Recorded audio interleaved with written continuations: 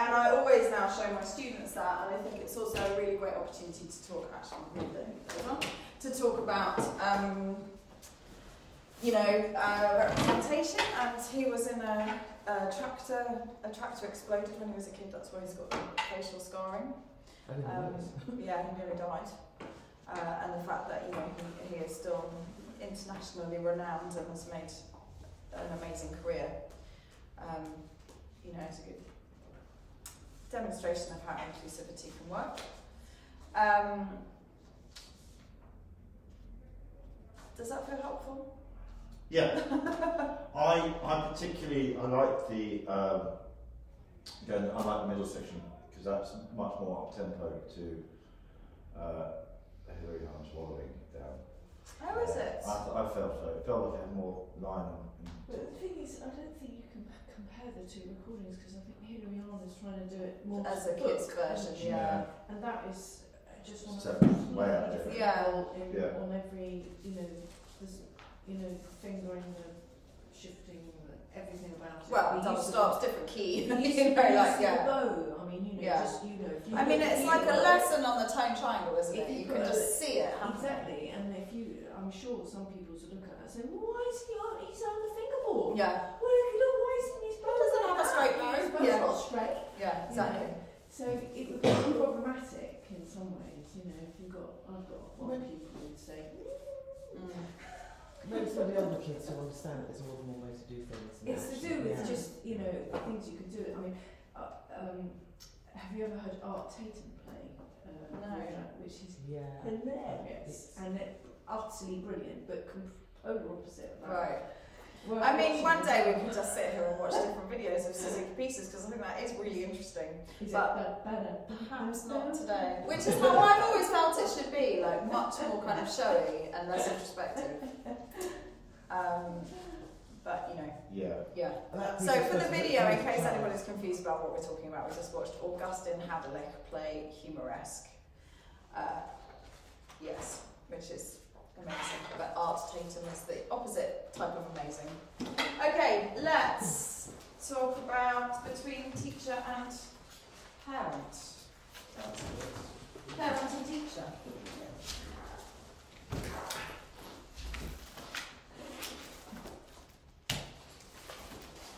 Uh, Did everyone get to read it? I half read it. Half read it or read half of it? Or is that the same thing? Yeah, it's Is? But the thing I read was very repetitive of what I've already read, so it probably wasn't very helpful. Uh, Say that one again? The, the part I read was the practically what I what I know from the other the other books that we've read, so it probably wasn't very helpful. Well, it is very helpful because that is the fundamental concept of review in action. so, yes, I mean, there's not that much new stuff to, you know, we No. just look at different ways to cover the same thing uh, many times over. Uh, okay, so lecture number two. I think the thing about this is that as it becomes more and more familiar to you, you do need to remind yourself that every parent, almost every parent who comes into your teaching studio is going to be unfamiliar with it. And so that's partly why we're going to read so many different versions of a similar idea, is so that you can find different ways to talk to people about something for when the way that you kind of fall into the habit of talking about it doesn't work. Because for, for most of us, we have a kind of standard way to explain things and talk about the philosophy, and that works for most of the parents and students that we work with, but then occasionally there'll be someone for whom that just really doesn't like click. Um, okay, so I mean, it's interesting that the assignments as well to learn with love is a great book, but I think again one that's out of print and it's quite. Has anybody read it? I think I've got it. I think. It's quite. Um, Dense. could have done with a good edit. Yeah. The William, the William Starr book, yeah. There's a lot about brown their children in it, which I think is kind of nice to read. But if what you're after is something quite pithy, Is that the big one? yeah, Yeah, the big grey one. Great, great. Yeah. Yeah. I haven't read it cover to cover. Yeah. No, I've read it's some Useful cover it. It's pictures. dense. And you know, the thing is, I think one of the things we've got to remember is if you're talking to a new parent of your student, a new a new student's parent, you're suddenly asking them to listen to a 25 minute recording every day and try and practice every day, they're not also going to be like, oh yeah, please give me a like 150 page A4 size book to read as well. They're going to be like, oh my goodness, this is like a very big change from their, you know, the amount of stuff they've had to do in their daily lives before with their children. So bear that in mind, I think. Would that, it would be, uh, it would seem to me that it's, as interest grows, you can then guide people. Yeah, and that's why little bits is really useful to, to kind of start them off on that. That you're like, oh yeah, that's really good, and it's enough to start off with. But then you hope that they're going to want to research more and find out more from that, rather than trying to give them the whole lot. Yeah. Straight this one up. says that this one said it made me laugh actually in the first paragraph in the very under discussion it's uh, thought it says a written assignment requiring parents to record their impressions and thoughts about the book Mm. on and I thought that's quite um, Optimistic. I mean- imagine saying that to my parents. Yeah. I think the thing about this is, is that, you know, that that my favourite word is coming out again. There is diversity in our families as well as in our teaching. And I mean, I remember one of the very, like, a strong memory I have of kind of starting out with Suzuki Hub is one of our very wonderful teachers saying, you just can't, you should not accept parents who are not going to practice at least five times a, a week. There just is no place for them with, with professional Suzuki teachers. And I was just like, I actually think if we ditched all of the families who didn't practice five times a week, we'd have about 40 families left here. And if you're going to be, you know, you have to all, each of you has to decide for yourselves what kind of teacher you're going to be. Maybe you will be a teacher who won't teach anybody who doesn't practice every single day of the week. And maybe if there is some reason that they stop practicing every single day of the week, they're going to have one month of grace before you're like, okay, out, goodbye. There are pe- there are teachers like that. Their students tend to be very good, but I feel that that's not really a true understanding of Suzuki philosophy. And then there are teachers who never never actually bother to kind of find out exactly what's happening at home, which I also think is a misunderstanding of Suzuki philosophy. And I think that there is a balance to be found in the middle of that. But you know, I'm very aware that when I first started teaching, I didn't know exactly how many times my students were practicing. I didn't know how many times they were listening to the CD. And when I started to find that out, the people that I thought were practicing every day for probably half an hour to 40 minutes, some of them were practicing for 20 minutes three times a week, and they remain some of my most brilliant students. And you know, I just think, well, if I had been saying to them in book one, how many times have you practiced? Well, it's still not up to seven, so I'm going to, you know, send you to another teacher. I would have missed out on the like privilege of teaching those particular students because some of them can just do it in much less time hmm. than others. Yeah, isn't it? You know, isn't it more about whether the pupil is actually achieving what you would expect at that level, and you know, Well, I think that is the pers- that is the if they are- personal choice to make. Is it about what they? Is it about if you think it's about them achieving what you expect, then that is about kind of broad, broad spectrum. This is roughly what you should be doing, and if that takes you five minutes or if that takes you an hour, that's what you need to do. Or is it about everybody should be putting in the same effort, effort mm. and then if you are, you know, talented, mm. or if you find it easy, or if you have extra support at home, you will excel further. And if you don't, you will go slower. You know, I think it's a balance for us all to find, and most of it comes out in the wash without us really being super aware of it. But occasionally, you do have those families like the kids I was just talking about who make you think, oh wow, yeah, you really have. You know, I mean, this child did grade 8, age 14, and got 139 and I don't think he's ever practiced more than four times a week, mm. and really not for very long. Should I have said no? I won't practice. I won't teach you because he could have done grade eight when he was nine I got 142 if he'd done half an hour every day most days of the week. I, you know, that that wasn't the right decision for me. But other people would be like, God, what a lost opportunity not to have excelled even further. It- So It's it- for us all to work out for ourselves. Isn't it also that you've, you've got to, um, uh, it's not really for you to dictate how a family lives its life, you know? 'cause No, but it is for you to dictate who you're having to teach. Yeah. and who you're not. I mean, it's slightly different here because if you just said, right, I'm not going to teach anyone who doesn't practice for half an hour every day, I would be like, well, I'm afraid this isn't the place for you because I, even I don't ask for that. Mm. And we, I'm not, nice you know, we're an inclusive organisation. We're not running a music school where people get to call the shots to that extent that they can be really hardcore and just sort of ditch people right, left, and centre. um, yeah, but you know, I mean, there are people who run their studios like that, and from by certain ways of assessing their success, they're very successful. I was going to Then say. for me, in other ways, they're not successful. It's- Depends it's- how much, you know, how much of an economic safety net you've got as well. And If you It depends on to all just, sorts of just say, things, sorry, yeah. I'm not teaching you, you know, even though you're quite good, but you'll only do, you won't do enough practice for me, then you must, uh, somewhere at the back of your head, think, I've got enough. Yeah, absolutely. Well, economically, um, And I think Oh, also it does depend on your understanding of Suzuki philosophy and your general outlook on like social justice and equality and equity because absolutely guaranteed if you end, if you end up running your studio with that really hardcore if you're not meeting these demands you're not in my studio you are going to have a very upper middle class mm. studio because it, it, it, that's just a fact. You you may have occasional outliers who are able to meet your requirements without being middle class, but generally those families are you know the ones. It, that's just how it's going to be, and for me that doesn't sit. That's not what I want. That's not my interpretation of Suzuki philosophy. Is you know, but again, there are plenty of people all over the world who have very successful studios who are almost exclusively upper middle class and therefore in this country mostly white and mostly, you know, Mm. in West London. It is a, it is a kind of, it's, it seems to me if you're going to start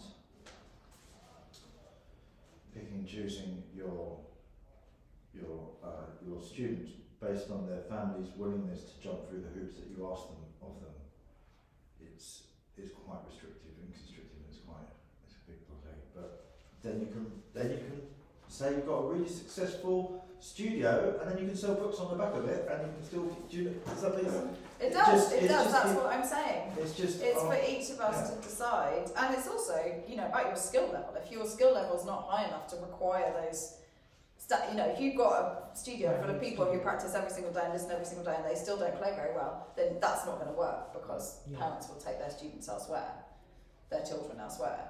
Um, but I mean, I would that if you did a big thing. like my mum says, if you've got a parent who does everything you ask and you still can't turn them into a decent musician, then you really should be in a different job because you've got everything going for you.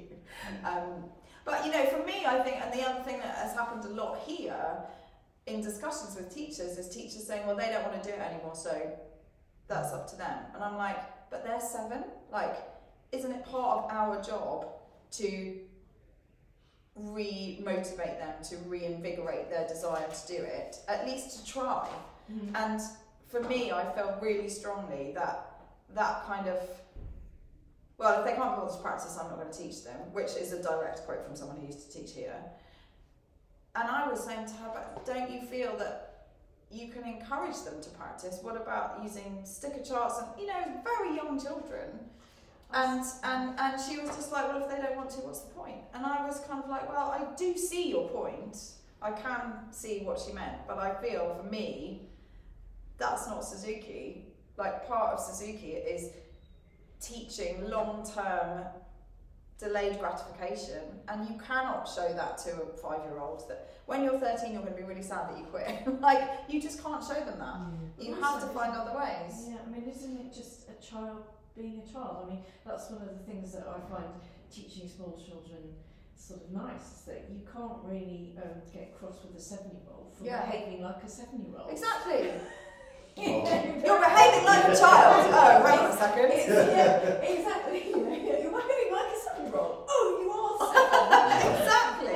Yeah. Exactly. And I think, you know, intrinsic and extrinsic motivation is really complicated. And yes, we all hope that part of what we do will be intrinsically motivating to the students. Maybe they love group, maybe they love playing together, maybe they love the sound, maybe they love performing, maybe they love going to concerts and thinking, one day I'm going to be able to do that.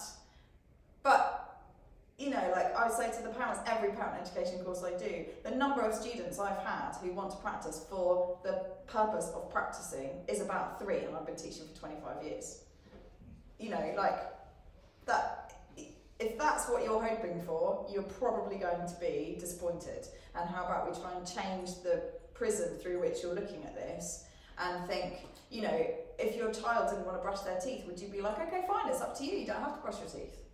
Well, no, you wouldn't because then all their teeth are going to fall out. But if you want your child to be a musician, you can't just be like, as long as you want to do it, it's fine. And then if you don't want to do it anymore, you just don't do it because then you will not have a child who will be a musician 99% of the time. The kids go through some period or other of wanting to stop. And if you just let them drop it as soon as they want to, then you're not going to have a child who's a musician That's on any level. That's the influence of thinking of learning violin or an instrument as being a violin club.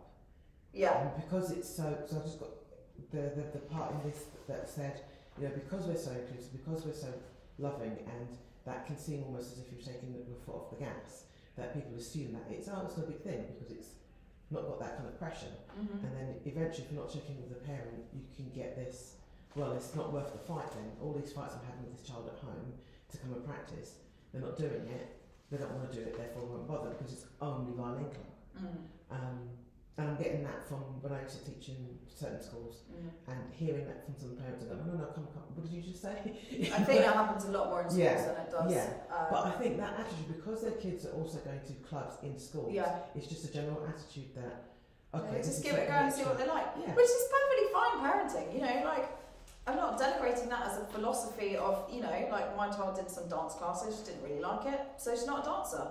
You know, like I could sit here as a dance teacher saying, well, unless you commit to it and make your child go to dance lessons every week, you're not going to have a child who's a dancer. Well, no, I'm not, but I don't feel about dance as I did as I do about music. So, of course, there are loads of families out there who don't feel that this is worth a fight, and I do think that there is a certain point where if a child makes it really clear they won't do it, it does become more damaging. You know, I had a child come in with their mum, and the mum was saying, make him do it.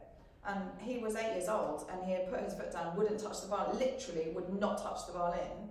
She tried everything that the teacher had asked, she tried everything that I'd recommended, and I had to say to her, I'm sorry, love, I can't make him do it. I literally cannot manhandle him to pick up a violin and play. You've tried everything I've recommended, he just does not want to do it, so you can't make him there is that point in some children's journey, but in 90% of the time, it's about something else, or they're stressed, or they're anxious about learning the next piece, or they've had a falling out with the person they stand next to in group, or you know, like whatever, something completely separate. And if you can work out what that is, then you can get them back on track, and then they will become musicians. Not professional musicians, obviously. They'll become people who can play music, Mm. which is, for me, one of the gifts I want them to have. It seems to me from perspective of a teacher, whether you're one on one or whether you're in, in the triangle with, with triangle parent, the big question you should, you should be asking is what my, uh, the phrase my, my sister has used, what's within my gift for them and, Mm. and what is within my teaching gift for that, for that situation, and what, what can I do? And it's, the putting the going back few discussions a while back of, of every child can if the problem there's there's pro- problems with every child can if because if you put an if in there then you it's very easy as a teacher to go I absolve my responsibilities because they're not practicing. It's not my fault. Because of this it's not my fault. Every child can. Do or if you look in that situation and say within this situation what do I have at my disposal? And what is within my gift for that moment. And there is loads within the Suzuki method. It seems to me that was it that could create the gift that you can pass on and but some things you can't just ram gifts down people's throats. Absolutely, yeah, it's a gift. Yeah. it's, it won't be accepted. It has to be it has to be pertinent to the time and moment which will come I'm hoping with experience because it will you have to practice how that gift is for you and how it is for different people. Yeah. I mean, I think the hardest thing, um, one of the hardest things with the philosophy is getting the parents to accept that they are res- resp- responsible for their child's progress as the teacher. Because I think it's very much, certainly in the upper middle class circles with moneyed parents, they're very used to just paying for a service. Farming it out, yeah. And you Absolutely. know, if they give you money and you teach your their child the violin and they achieve, you know, That- that's- Z. Well, like the classic, you know, my Exactly. town needs to move on from Allegretto. We've been on it long enough. It- it- Well, okay. yeah, exactly. And and it, so it's, it's the idea that and, and and sort of trying to get away from that um, with some parents who who they really don't want to have to accept that their child's development is wholly dependent on Mm. what's what they're doing and how they're leading their lives and that and it's a big thing, isn't Mm. it? You know, I mean it's So, and taking that on You that's- that's if, if, hard you thing, if you come you across know. that as a moment, what is then within our power to affect that? Yeah, that's How- exactly what I was going to say. How Well, do we affect that? Because if it's if it's purely down to them and they're the only people responsible, what's the point of us being in the well, room? no, she wasn't No, saying I the wasn't I know, saying but, that. but, I but, wasn't saying that. so, it's, then when how it's do just we? to say that it's it's a triangle that needs to be balanced. Yeah. You know, and if one element isn't there, it's you know, it's, I'm not saying it's going to collapse, but it's mm. it's going to It won't progress, function as well. Okay, so let's take a moment, just find yourself a blank piece of paper and write down as many things as you can think of in that situation. If you realise that you're teaching a student whose parent is basically sitting back and letting you get on with it, not really taking the time or the energy in whichever way you would like to imagine this scenario, either not making time for practice or not listening carefully enough in your lessons to what you're saying you want them to do, or, you know, practicing in a uh, inopportune times or in a really grumpy way or wh- wh- whichever problem you want to imagine, what are you able to offer that parent in terms of support to change that up, to make to make that work better for them? And you just take let's just take three minutes to think about that. So you need to imagine what the problem is in your scenario and then what possible solutions you could offer.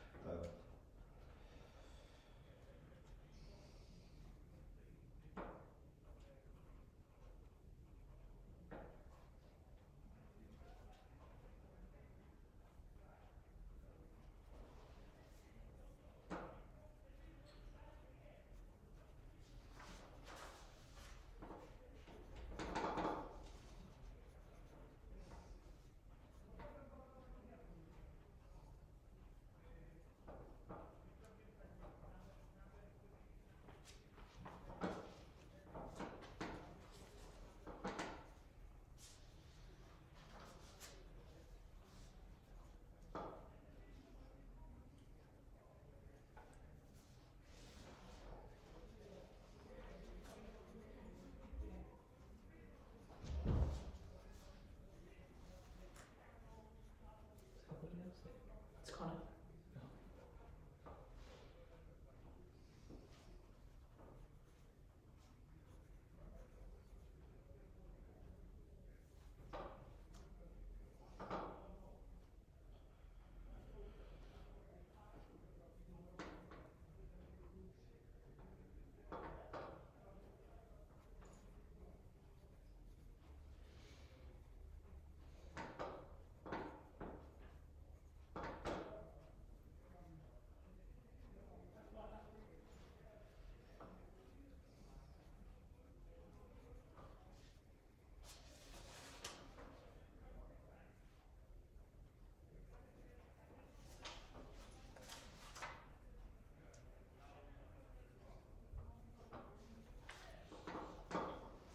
Half a minute.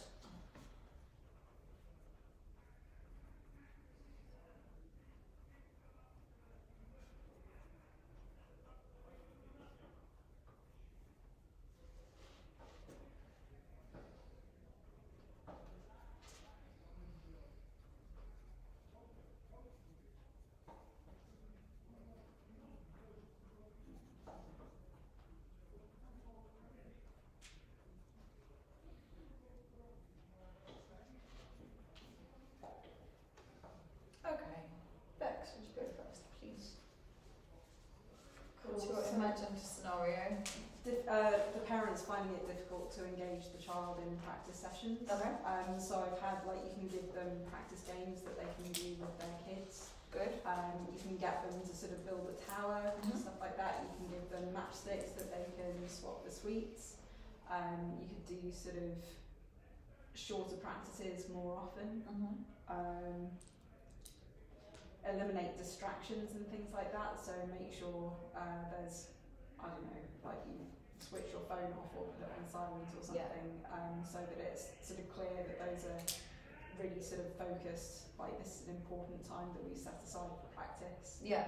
Um, have those markers that he was talking about in the book, like sort of beginning and ending each practice session with a bow or Mhm. something like that. And between those times, that's the focus. Yeah. Very good. Well done. Kit, Um, my also about practice. What's the problem in your imagined practice? They don't want to practice. Okay. Or they're not interested in what they're playing. Mm-hmm. So maybe like see if they want to play something different just to change it up a bit and Mhm. just so then they enjoy something for a bit and then try and get them back on task. Mm-hmm. Um, uh, see if like ask the parent what time like when they're setting when to schedule and maybe try different times. see if that Good. works better. Excellent. Yeah. Um, What do you think? What does the group think? Not necessarily you on the spot. If um, if there's a child who doesn't want to practice, what is one of the main reasons that you think? Oh, let me just check if it's because. Or when they're being asked told to practice. Yeah, can be when they're going to be when when it's being you know if it's Yeah. six thirty. Yeah, maybe they're For a watching four-year-old. their favourite programme or something. Yeah, maybe there should be. Yeah, there's something that they're missing because of that time. They're And- tired or hungry. Yeah, good. Tired or hungry? Excellent. Toilet. Toilet. Yes. yeah. One more thing about how the parents behaving behaving. Maybe the Parents parents not not really fully engaged. They're trying to make a cake at the same time. Exactly. answer Or they're not being positive. They're Yeah. not offering the encouragement that the child needs. They're sort of being disdainful. Mm. Uh, it's very interesting. Disdain is a really interesting sort of um, behaviour, isn't it? Like there's this long-term study into couples that get divorced versus stay together, and one of the very few kind of reliable markers is disdain. Mm. It's not whether they row, it's not how they got together, it's not how often they have sex, it's not, you know, all of those kind of things that you might think, oh yeah, you know, if you haven't had sex for two years, definitely on the way to divorce. Like, but actually, like being disdainful of someone is really so powerful in like crushing your self confidence. And if you think about how often, like it happened the other day when a kid did really well in his solo concert, he hadn't done so well in the rehearsal, and his mum went, and I just felt like, oh, babe, he's done the right thing. And you're like, he didn't see, otherwise I would have talked to her. But you know, you, he's done the right thing. He's stepped up, and you're like, why did he screw it up in the first place? You know, and I think that that is really key to. Often children don't want to practice because basically the messages they're getting from their parents are like, what the hell are you doing? Why are you messing around? Which may feel like what the parents feel like. They might be like, well, yeah, they are messing around. But you know, then that just becomes a negative cycle. And so I think to you know, what solutions can we offer if we if we aren't sure what the problem is, why a child is not wanting to practice? How can we find out? Ask the child. Ask the child. Very good. Also ask the parent. Yeah. Yeah, good. So there are people in the room at the time, aren't they? So you can ask pertinent questions. If it's not directly asking, why don't you want to practice, you're asking things around when the practice is. Is it that sort of day? What? Good. How do you start your practice? Good. Um, how, do you have any treats for your practice? Do you have any sort of end point? Excellent. Kit, what else might you want to ask?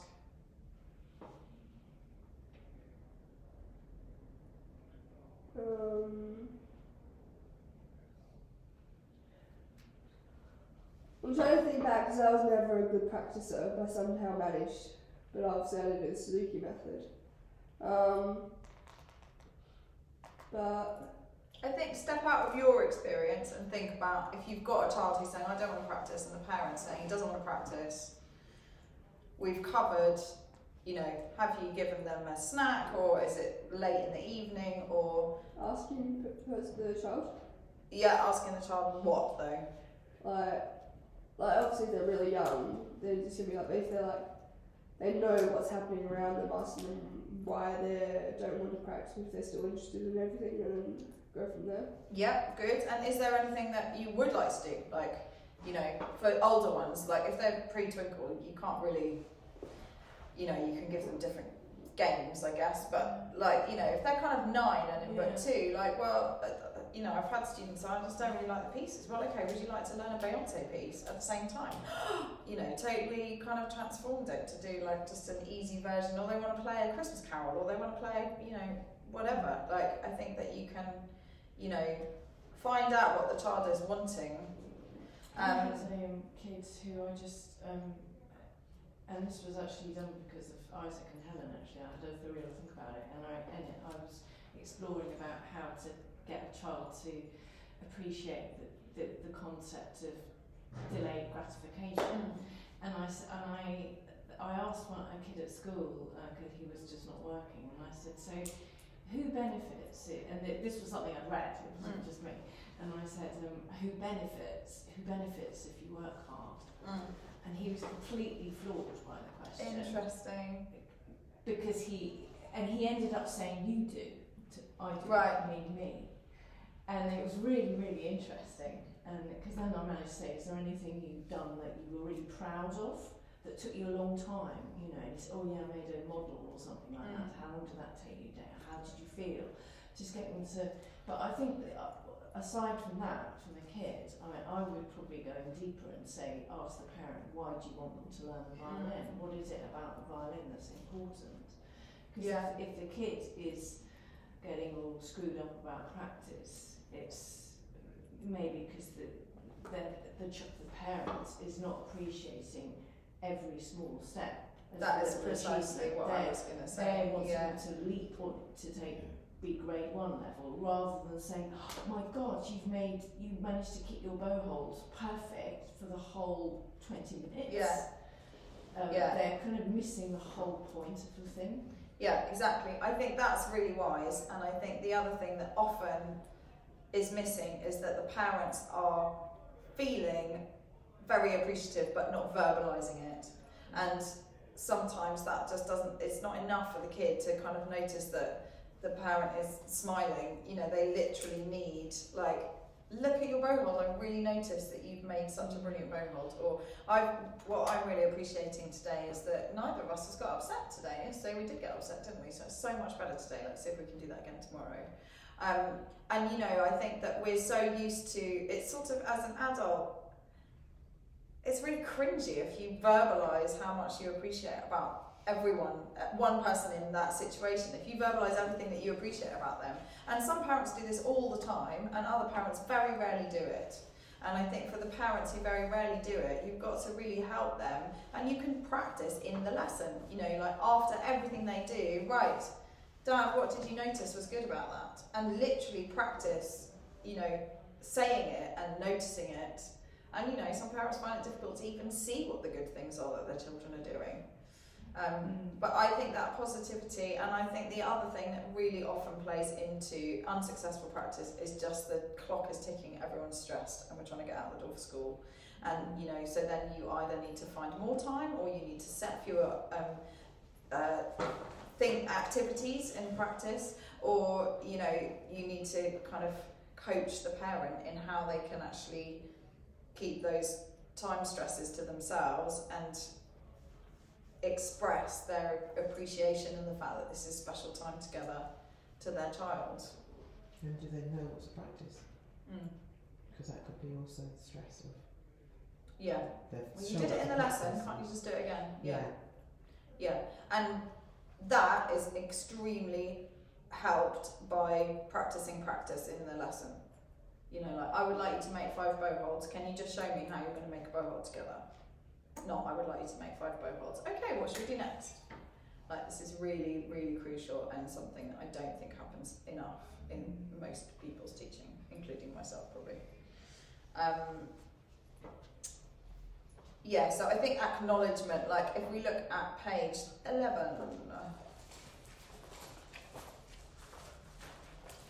adults begin parenthood by finding delight in each small achievement or skill their baby learns.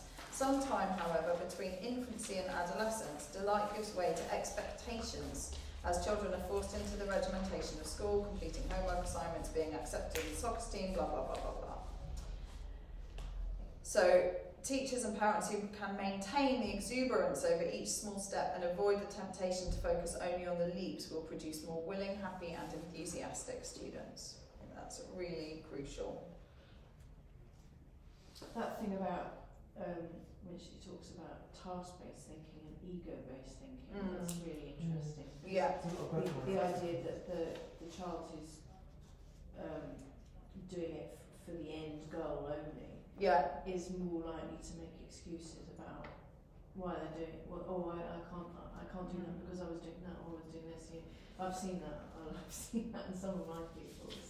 Yeah. Um, it's it's interesting that just it, it's the same it's the same concept as um, uh, that book that we were we, we read earlier on in the term. Um, what was it called? Um, Beyond the music lesson. no, the the next one, the Teaching with an Mindset. open heart. the mindset. Mindset, Mindset. yeah. Yes, it's, it's changing the mindset? Exactly. And I think really helpful for the parents can be you are here to learn how to be a really good practice parent. Like, I'm not expecting you to just be able to do this. You know, I think that we often do just expect them to be able to do it. And when we think about what they might not be able to do, we think about the technical aspects of you might not be able to get the violin on the shoulder properly, you may not be able to help your child make a bow properly, you might not be able to tell them which note is which, you know, correct pitch.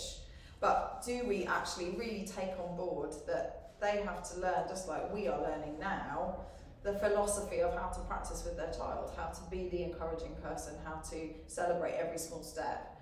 You know, that's a big thing to learn. Just like learning how to make bow rod with a four year old is a big thing to learn. Yeah. And I think it's easy to sort of fail to see that. Going back to the to be list, isn't? Exactly, yeah. Yeah. I think when it, when you when you get the parents to understand that, I think it comes as a big relief for them actually Yes. as well. Because I think sometimes they're also they don't want to disappoint you. Absolutely. And God, think, well, most we of the want you to time. practice Yeah, and most so of the time. You know, and once you say no, that's fine. You know, look at the way she's standing. Yeah. It's really improved. You know, Yeah. that's I think it's a big relief for them. really. Yeah, absolutely. So I think on page 14, this is a, just a helpful kind of reminder list, which we've covered some of these things already. Plan your practice to isolate previews or assigned spots for extra drilling and think of a way to uh, involve, I presume that says, your child in a few perfect repetitions. Roll the dice, one repetition, one repetition for each year of age, check practice incentives, including in this book add a part of Mr. Potato Head, build a tower, you know, like you said about the matchsticks or, um, Clipping you pegs to know, yeah, all sorts of things. Um, and the thing about those is that you'll find one works for a while and you think, brilliant, we found it, and then it just stops working, like very randomly, and then you have to find something else. So you need millions of different versions of the same, in, uh, um, you know, encouragement up your sleeves. Play music in your home and car. One of the things I think is very useful is to make a sign that says put the Suzuki recording on. Um, I had to make myself a sign. It's ridiculous. I feel so. I, I still don't really understand why it was so difficult for me to start putting the recording on. And I'm still the only person in my household who does it. if I don't say, can you put Suzuki on in the morning? It doesn't go on. Um, and, uh, you know, I was already running a Suzuki school, so be compassionate about how difficult that is. But you know, I say to most parents, do you put the kettle on first thing every morning? I don't. I have, don't think I've had a single person say no yet.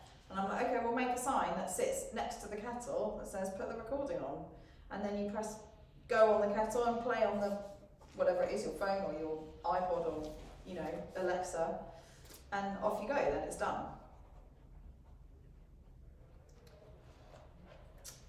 Sing with your family. Singing in the car can melt the miles away. uh, uh, yeah. Never mind. I don't think that works so well for public transport. Do -do.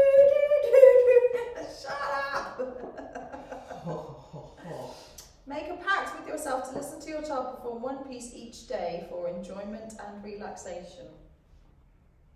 I don't know really why that has to be a pact anyway. Do not tolerate phone calls or other interruptions during practice. And I think this is the big thing. Most of us are with our phones all the time, and if you get a buzz in your pocket, you will check it. It's much better if you can actually like put your phone in a different room for those 15 20 minutes and tell your child that you've done it. It's insidious.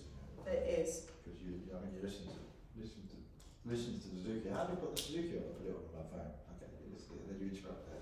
And then you get completely sidetracked by something else. It's like, oh, yeah. Yeah, learning, learning to use the do not disturb function is very important.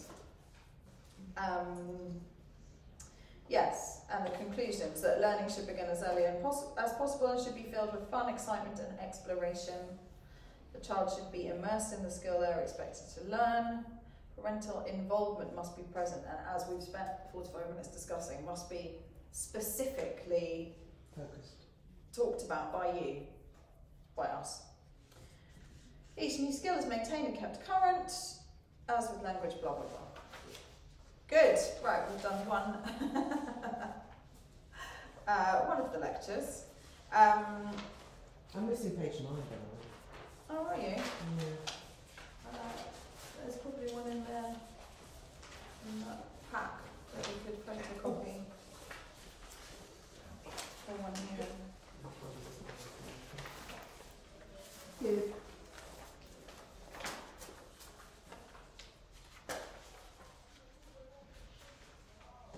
I've got it here, Joe. Why don't you just go photocopy that one? Okay, can you photocopy it so that, yeah, there's a complete set, thank you. Oh, the whole thing? No, just that page. Yeah, just want one page for. Okay, let's have a little quick look at lecture three and then we'll have a quick look at lecture six this afternoon. Um, so I think that, you know, assignments, like you said before, Mimi, are quite optimistic for a lot of the parents, but you can spend some time talking about it in the lesson. You know, well, what are the ways that you're you're trying to make it interesting and stimulating for your child, and then you can have a discussion about it. I mean, some of this I think is really like over the top. Analyze the space, draw a floor plan, including windows, lighting, equipment, Yeah, storage. I read that. I laughing. But one of the things that we do do in the parent education course is when will you practice? Write down each day. You know, Monday we get home from swimming at five thirty. Well, then when are you going to practice? Are you going to practice at you know?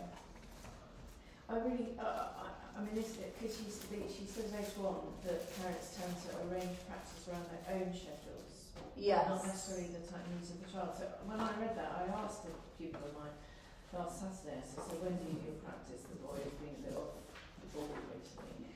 And uh, she said, uh, when they get home from school, it's usually because they have a bus ride, it's usually about sort of seven o'clock, you know.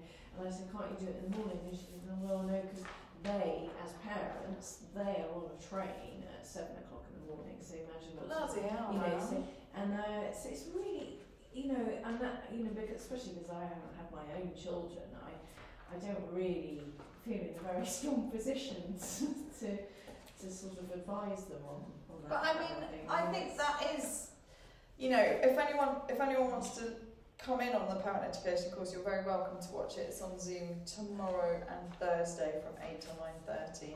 I know various recordings you could watch as well. But you know, this is one of the things that we do talk about. Is like Suzuki isn't for everyone. If you're out of the house at seven a.m. and you get home at seven p.m. and you want your four-year-old to learn, when are they going to practice? Yeah, If you have a nanny who picks them up from school at 3.30 every day and she can come to the lessons, then sure, maybe that will mm. work. But, you know, if they're in after school club and then you do five activities with them on a Saturday and then you go to church and go and socialise somewhere on a Sunday, I mean, how's it going to work? Like, it's just, you know, it is much better. And that is one of the things that, you know, the parent education is there for is like, you don't want to start on this journey and get all excited about how wonderful it's going to be and then realise that you just can't do it. It's like thinking, oh, I love Miami, I'm going to move to America. Oh, hang on a second, I don't have a visa. Like, you mm. know, there's no point in, yeah. you know, you may as well sort of um, you've got to be realistic about it, and it is a big commitment, and it's not going to work for every family. And you save them a lot of heartache. They realise that, or and then if you if you're saying, well, okay, if you really want to do it, then how are you going to make it work? Can you start to work part time one of you? Like, do you actually, you know, I mean, I've never had anyone say this to me, but you know, if you think that doing Suzuki or music or whatever it is is more important than having a full double family income from both parents, then maybe one of you needs to find a job that you can leave at four o'clock every day. I had once, once in one of the schools I used to teach in, I scheduled a time during the parents' lunch break and she worked nearby and she was able to come back for that and then go back. I thought, oh my god, that's dedication. Yeah, absolutely. Yeah, of course. Hmm. But I think the, the other thing is that they, they the children the children change. You know, they um, thi- in this instance the kid um, has gone to a different school and they finish later. You know, so instead of finishing at three thirty, he now finishes at five. and then there's a, there's a bus ride and all that kind of stuff. You know, so How old's the kid? nine. I think just before we uh, stop, just have a look at page 18 about resistance and anger. I think it's really important to teach the parents that someday they won't be up to it and they can walk away or they can decide not to do it or they can say, I'm feeling really rubbish, why don't we just do three things, you choose what they are, I'll only say good things about it even if it's you know, something we really should be working on. Let's just do something so we've done something. And that I think gets the children to really respect the adult as well for actually being able to say that. And is if you know, if your choice is between not practicing at all, practicing in a way that's guaranteed to end up with you screaming at your child, or doing that, then obviously that's the best option out of those three. Um, and it's about self awareness, isn't it? Um, I do think breaking up the practice, you know, which requires you to have longer to be able to fit the practice into, but breaking it up by reading a book or, um, you know, having a snack halfway through or not worrying if they're going to find their favourite teddy does make a big difference to how relaxed they can be. Um, this thing about laughter, I think, can backfire. Some some children, if they're upset and you say something like, you really turn red when you get angry, they will go ballistic Yeah. because they know that you're laughing at them, not with them. Um, so it would be a bit careful with that. I think a mock tantrum is quite a good idea. Do you find you enjoy doing it? yes. But it, Yeah, it, doing a mock tran- Take it tantrum, that could be, uh, I mean, if it's with Isaac, I'll tell you what, uh, I did, I didn't do that, but I said, right, I'm going to put my phone on, I can just video this lesson. Mm. And that changed his behaviour, because he Mm. didn't want it on record. Yeah. Oh, that was the other thing I was going to say. If you've got a parent who's really struggling with practice and maintaining any kind of control and focus and you know effectiveness in practice, get them to video it. It's a really good idea for you to really understand what's happening because you may be able to see. Oh well, it's because every time they do something wrong, you tut, and they might be completely unaware of it. Mm. Or well, you're checking, your, you've checked your phone seven times in 15 minutes. Of course, they're not listening to you. You're not listening to them.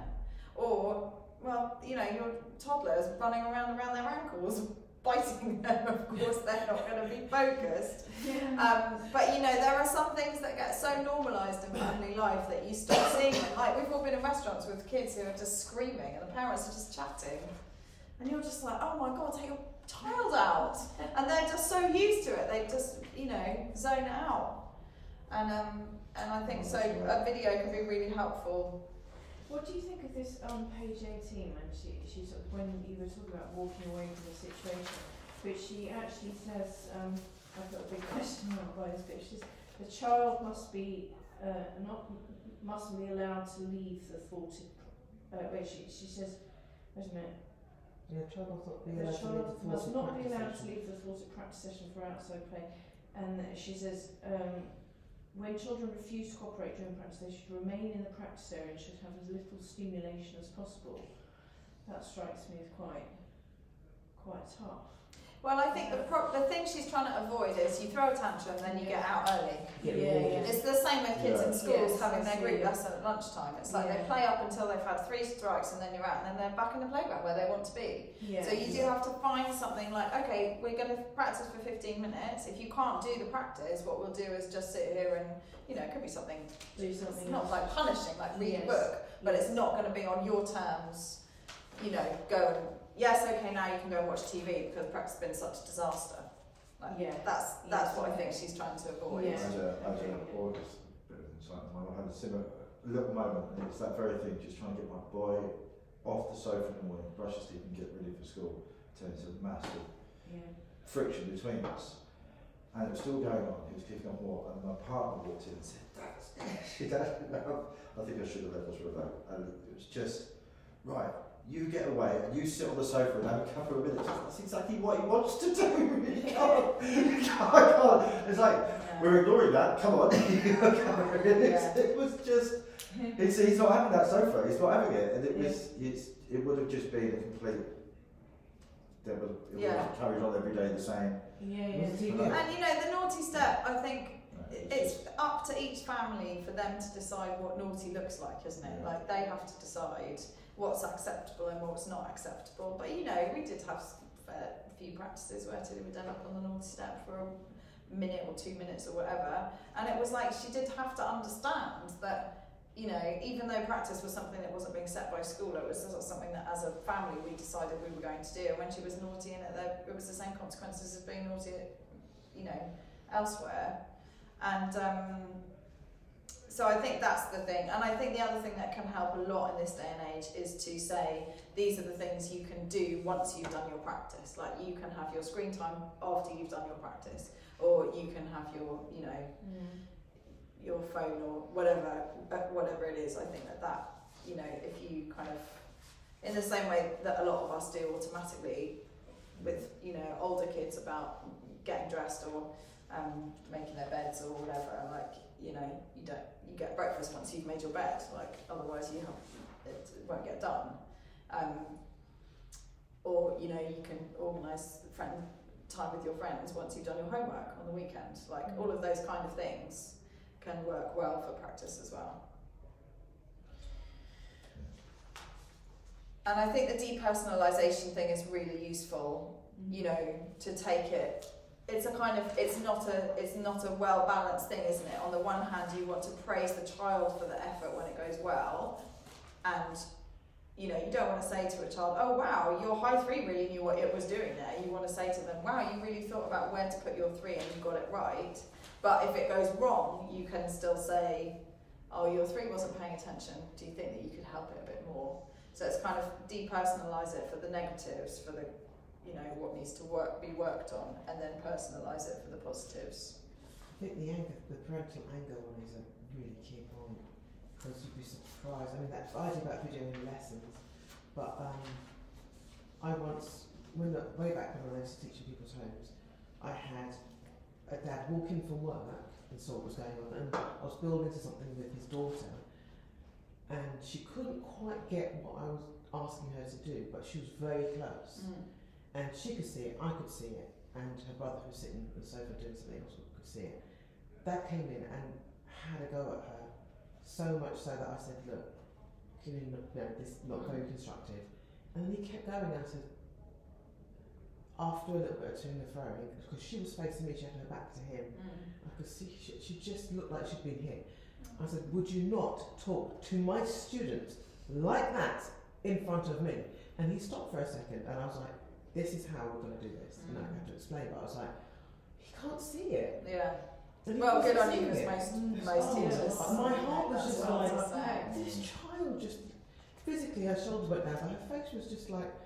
I thought if this is how practice is at home, or bearing in mind that mum was doing practice with them, he just I was going to in say that's not the practicing parent is it though Exactly. yeah But but he was the one who employed me to teach, and I think even in Suzuki households, it's a good question to ask if there's anybody else's anger that's involved in that child's session because I've had more than one parent say or child say to me, I have to practice in the toilet because my dad doesn't like it because he doesn't like the sound of it, Yeah. you know, or Mm. You- And I said to parent, would you want to practice in the toilet? Mm. Come on now. You know, so I think anger of other people as well. It's not just Yeah. parents. Yeah. Mm, that's- Right. Let's have five minutes to make a cup of tea, go to the loo, whatever, and then and then I've lost track of my schedule. Pause the video.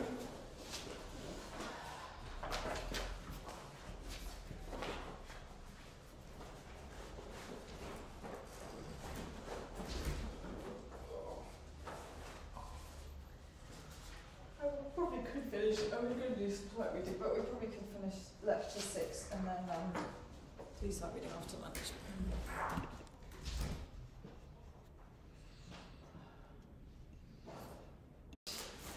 I try not to be offended when people ask me if it's a big birthday, because I'm like, I clearly don't look like I'm about to turn 40, and do you really think I look like I might be turning 50? No. 30. 30. 30, yeah.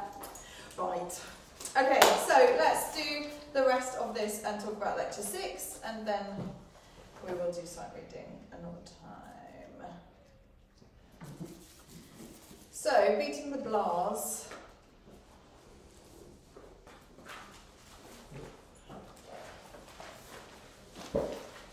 I mean, I think, you know, this book is sort of obviously very involved parent education and it's like we were saying before up to each of us really to decide how deep in we want to go with this kind of thing. I have to say I've never been I've never done a role play ever in my life Really? with potential parents. Really? Oh, Or sorry. get potential parents to do a role play. Oh, okay. Um,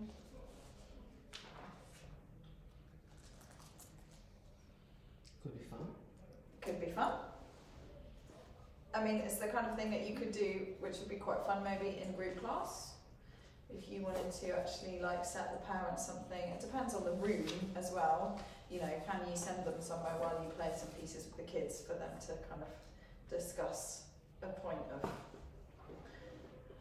um, you know, to, to have a discussion about a particular point that you set. Like, there is no reason why you couldn't do that here. If you would like to send them out into reception to chat about whatever it is, that's totally fine.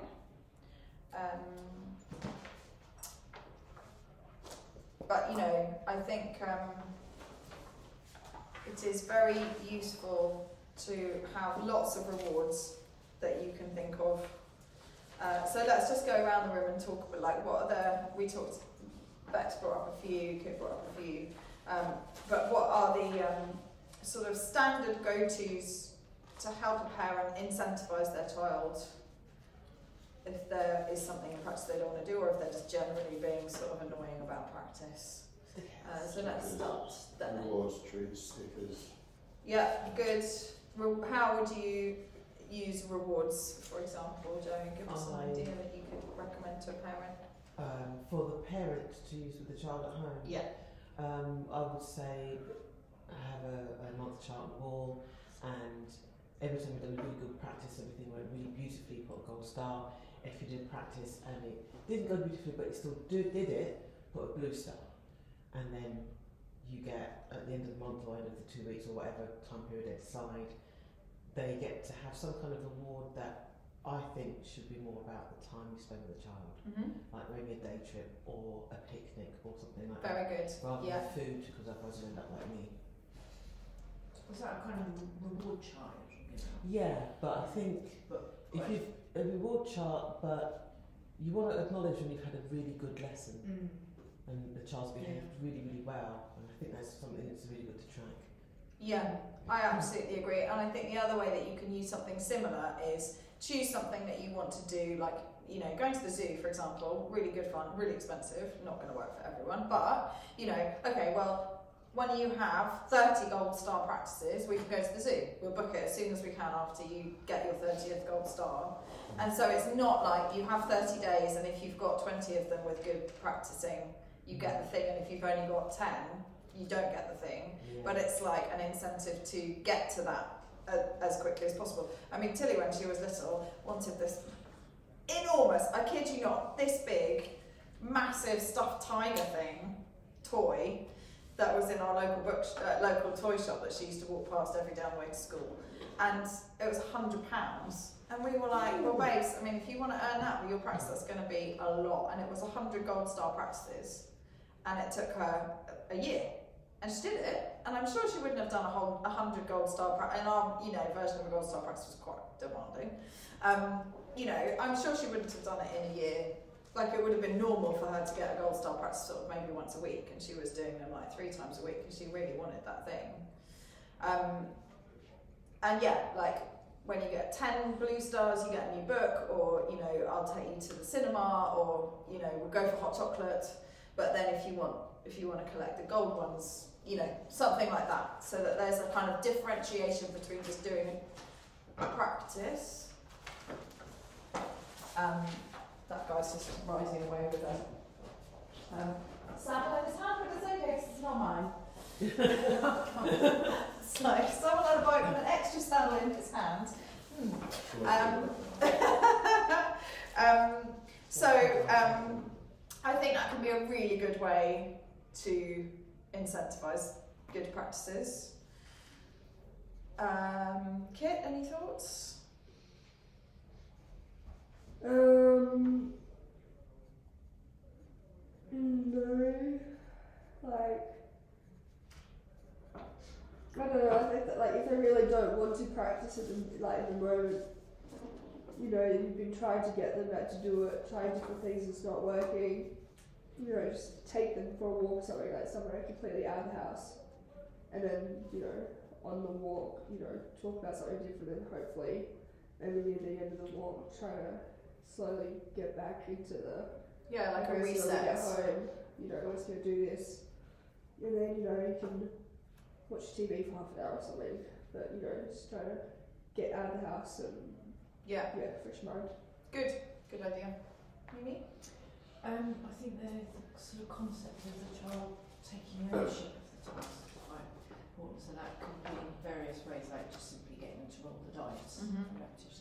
I do. I use them. Uh, sometimes I've got I've got some practice cards that I fold up, and um, so they have to they it might, it might be under a cup or something. I've got this from a thing, and and they so they take they they open the cup and they've got this might say five busy busy stop stop on the E string, and then they uh, do another cup and it might say your choice, Yeah, and then another one they might say reward from you know from teacher, and I'm like oh my god how did that get there?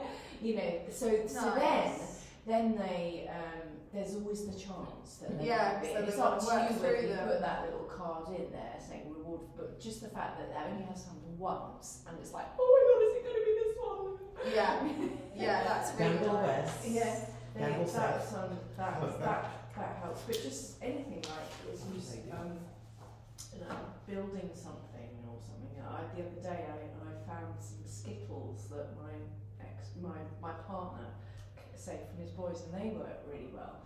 Just so that if they to aim and and and it, um, I actually I really do recommend this actually because it, it was really useful because they I put they're little little skittles and if they did Oh, something sounds if, so if they did something well then they they um, you know they got to roll the skittle and, and so there were 10 skittles and one of them just obliterated eight of them in one one roll. But then of course then to get the other two down they had to be much more careful. And then that whole concept of he couldn't just go like that. Yeah, the whole concept is that getting ready, you have to aim, you have to take your time, and if you want to do something really precise, just uh, like Ed Quietman does that, the thing with pushing his bow along Yeah. a similar kind of thing.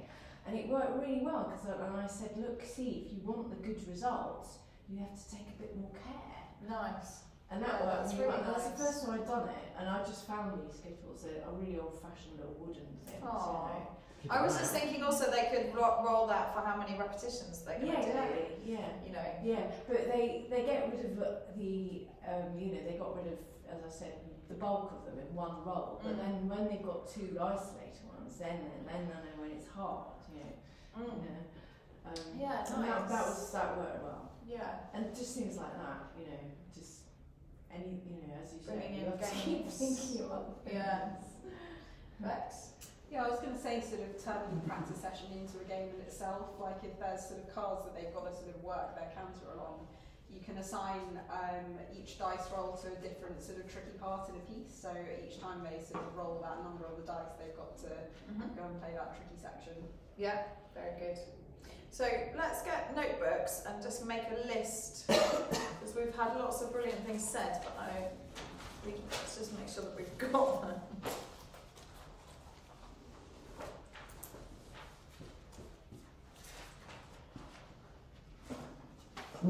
I think one of the things that we haven't spoken about is doing something like the maze game or the cars where one person moves, you know, your, the child moves if they're doing something well and the parent moves if the child's mucking about. Yeah. And that can really um, focus their attention away from poor behaviour. Um, so, in terms of incentives, stickers, reward charts where you work towards a reward.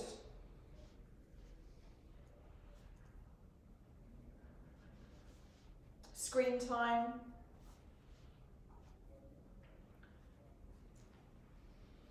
An event.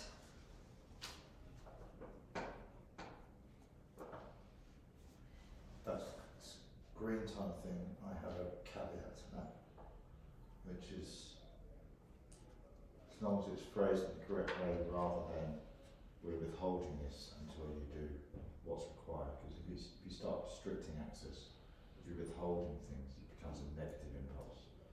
To the Forbidden practice is getting away of what I want to do. It's a bit like Trying see what I mean. Yeah. it's like it's it's Yeah, you earn Yeah, your yeah. reward rather than you, Well, it's are- also- you I- have a I- right to your reward. You have a, I'm taking this away from you and you can't have it unless you do this, is a very negative impulse and Mm. it's quite, it's quite conflicting. So it's, it's having something which, so like screen time, it's, it's a huge, huge barrier for, for everybody. I mean, it's just what, what that thing is, but it, it is a, it's being wary of what they're doing with that, whether it is a restrictive thing, whether it's based out negativity, or whether it is an achievement. Yeah, and I think that the leading on from that, that's absolutely correct, Ed. And leading on from that, if you are starting to work with a family where the TV goes on whenever the child wants it on, or there's an iPad that they can access any time, and then you say, well, why don't you make the screen time connected to whether they've done their practice or not? You're going to have to manage that quite carefully. I don't think it's impossible, but you know that there's going to be a shift. And for a while, it may feel like, but I've always just been able to get this. Why do I have to do that first now before I get this? Um, Whereas if you've had a family who, you know, the child asks permission before they get their screen time, then it's much easier to make that shift. Um, you know, but I suspect if you have a family where the TV just goes on all the time, you're going to have quite a lot of work to, to do with them to get practice and routines happening kind of Yeah. regularly already. So it might be that might be really helpful for those parents to like see that that change might be positive. Um, so the car game or the maze game. Lots of people earn sweets or whatever during practice, but it is problematic. There is a childhood obesity epidemic. Um, I think it can be really nice to have a special, you know, especially for the very young ones, a colouring book that they can colour something in every time they do something and they don't colour it in the rest of the time. Again, not because they're not allowed to, but this is your special colouring book. Let's see how, like, you've filled in this whole picture now. Like, it's taken you a month, or it's taken you a week, or it's taken you five minutes. Like, you know, uh, uh, whatever you want to make it look like. But this is like a visual representation of the work that you're putting in, and that can be celebrated really easily and nicely. Um, like making food together at the weekend. Like, if you do five you know, if you do five five gold star practices this week, we can make whatever you want in the kitchen. Like I can help you make a curry or a cake or whatever. Biscuits for your friends, you know, something that is time spent together as a result of them cooperating with the time spent together in practice. You get to choose what movie we're going to watch as family film night.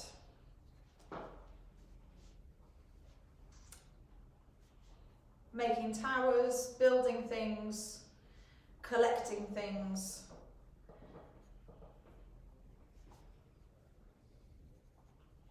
Pocket money for older children can work very well. You know, you get two pounds a week if you whatever. You know, Well, yeah. I mean, I know that it feels it, it seems uncomfortable, but it's the it's a I mean it's the same as screen time, isn't it? Pocket money is not your God given right. Mm. Um, lots of parents I know, the the pocket money, bad behaviour means a deduction from the pocket money. So then it's not specifically to do with practice. It's just like, hang on, you crossed the line. You're being too rude to me. That's ten p off your pocket money.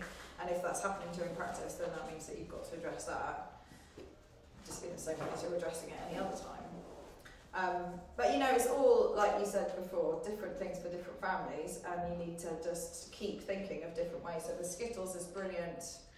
Reading a book during practice is brilliant.